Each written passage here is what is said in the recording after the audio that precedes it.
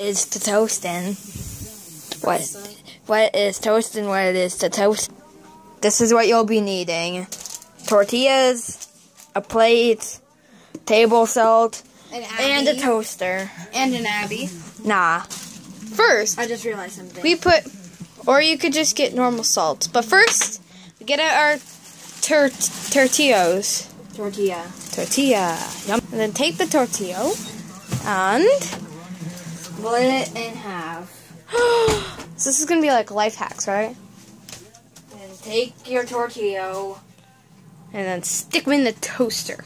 In different slots, right? Make sure yeah. In different slots. make sure they're as far apart as possible while still being able to fit in the toaster. And make sure you have your toaster on the highest setting.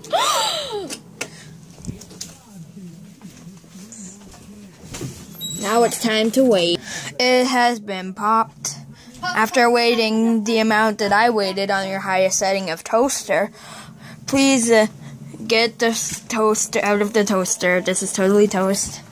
And then, but make sure, be careful, it's hot, and don't put any metal things in the toaster.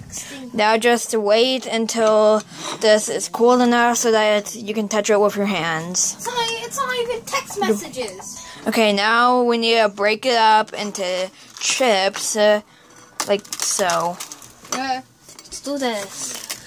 Do you want me to break This is just a sample. I just still gonna eat it. Now we're gonna continue breaking this up until we have. Okay, so now we have the chips. Now we need to add the salt, which this, which this is just the same as table salt. subscribe to my channel.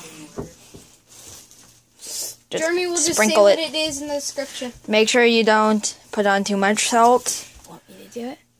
And chips. Shimmy, shimmy, shimmy, shimmy with the salt. Okay, that should be good. Shimmy with the salt. for the final test, the taste test. Yum. Heck yeah. Could more salt.